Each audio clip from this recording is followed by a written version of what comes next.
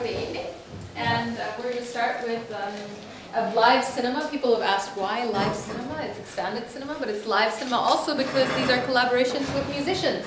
And, um, and a lot of the performance is live as you see it, so the, the film happens as we see it or something.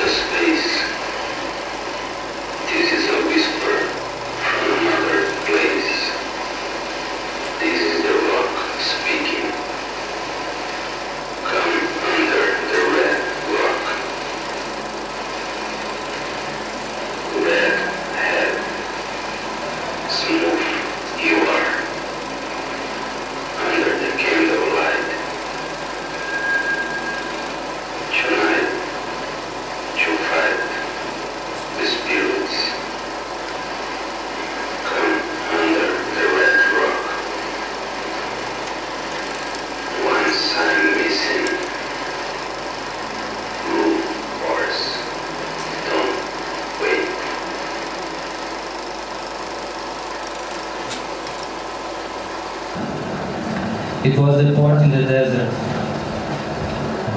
Hundreds of people, colorful clothes covering their heads,